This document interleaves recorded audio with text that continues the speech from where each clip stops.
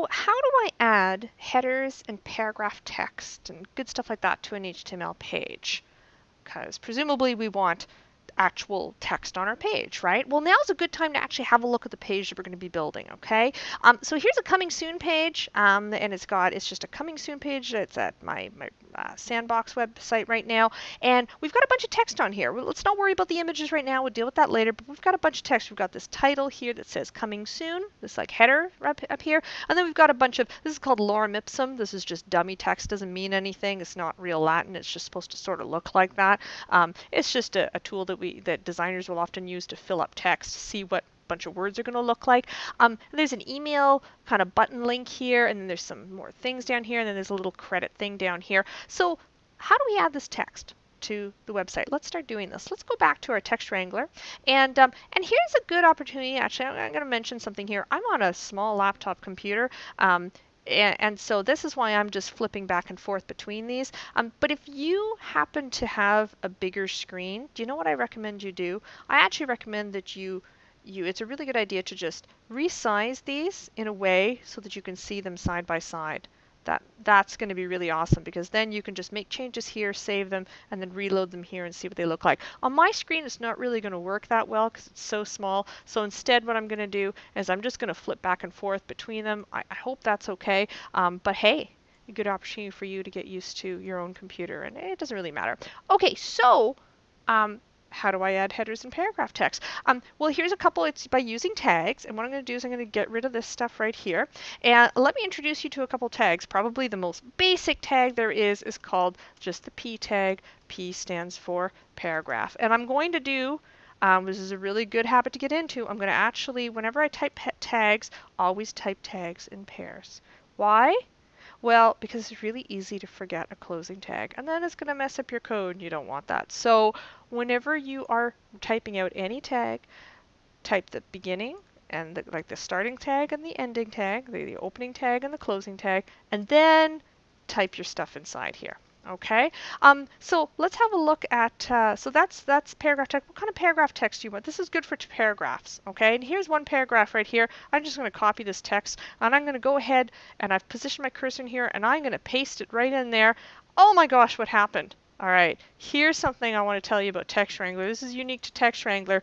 Um, by default, when you start Text Wrangler, the default is just to show everything so that everything's on one line. Um, you can actually change that, and that's this little box right here that says T. You can click on that and you can select soft wrap text and see what it does there. It actually wraps the text around so you can read the whole thing. Um, the computer still considers all of this to be on the same line, namely line 11. So that's why you see dot, dot, dot, dot, dot, dot down there. Um, but just it makes it a lot easier for us humans to actually look at the text that way. You can toggle this on and off. Okay, I like to see it with the soft wrap text on. Um, these numbers, if you're not seeing these numbers on the side, side, you can just click show line numbers and that toggles them on and off.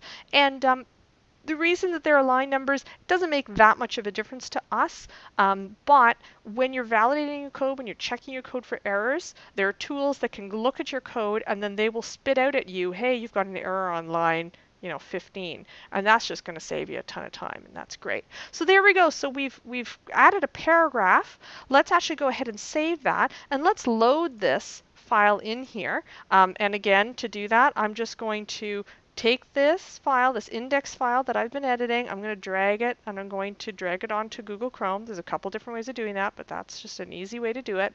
Um, and there it is, okay? Uh, it's kind of boring looking. It doesn't look at all like that yet, but don't worry, we're going to get there. Okay. Um, next thing is uh, let's talk about uh, the the header. That, that header text up there we want coming soon so I'm just going to go back to my text wrangler and I'm going to position up here I'm going to write my coming soon I'm gonna actually actually I'm not going to do that what am I going to do I'm going to write the header the header tag first and the header tag is just this it's just h1 like that um, and here's the thing, you can actually have multiple headers. You can you should really only have one header on on every page. And that makes sense, right? Because a page can really only have one main main header. Um, everything below that would be considered subheaders, and that's what you can use like H2 for. Whoops, oh my goodness, I made a mistake. See, uh, accuracy counts, folks. There we go. H2 would be a subheader to that. And I'm sure you're familiar, and you can use as many, you know, subheaders as you want. Um, I'm sure you're familiar with that. Think of like your resume. Your resume would be like your name is the header, and then education and, and, and and experience and references and volunteer, all that stuff would be your subheaders, okay? This page is super simple. We don't need any subheaders or anything like that. And by the way, you can go down to six levels. You can have H1, H2, H3, H4, H, H5, and H6. All these like real, you know, you can incremental uh, subheadings and subheadings of subheadings and subheadings of subheadings. It's pretty crazy, eh? Um, we're going to keep things simple. We're just going to use one main header, and our header is just going to be coming soon. That's it, okay? Um, let's have a look at what this looks like. I'm going to hit save, and let's just, now here's the thing, see what I did? I just came here, this, I made that change, I saved it. Why is it not showing up here? Because I actually have to hit reload. So no matter what browser you're looking at, get used to where that reload button is or the refresh or whatever, because you need to reload it, and there it is. And, um, and web browsers have some default ways of displaying things. So by default, it's going to show headers as large and bold, and it's going to add extra space between the header and the paragraph text. And by the way, that space has nothing to do with this space. I could do that, and it doesn't make it a darn difference right here. Um, but uh, but yeah, so so there's our coming soon header. What other text do we need? Um, oh, we've got an email thing here. Okay, so let's go ahead and put that in right now. I'm going to say ptext. I'm going to open that and I'm going to close that. And here's what I'm going to do. I actually have a couple things I need to do. I'm going to make a couple. I'm going to do that right there. Just copied and pasted that. And what do I have to say here? Here we go. Email info at robobunnyattack.com for more info. Info. There we go. And then finally down here, what do we have here? Web page design, copyright, web page design, copyright. Oh, we haven't, we don't know how to do that copyright symbol yet, um, but we'll learn how. So for now, I'm just going to write out the word copyright. 2012 by Kathleen Farley. And then I got at Harris Institute, which is the school where I teach at. And I'm going to say Toronto, Ontario, Canada. Don't worry about the, the case for this. We got some cool tools that can help us change the case, the letters from uppercase to lowercase and all that stuff. For now, just write it normally, okay? Um, get rid of that. Um, if it's more comfortable, you can do that. That's that's perfectly fine. It's not going to make a difference. That just makes it easy for us to read, okay? Excuse me. Um, let's see. Let's see what we have here. I've saved that. Let's go back. I've got this this open right here. I'm going to hit reload. There we go. We've got our coming soon. We've got that information, a little bit of dummy text. We've got an email thing here. Obviously, none of these links are working yet. Doesn't matter. We're going to deal with that later. Um, looking good so far, right? Yeah. Um, one other tag I want to tell you about.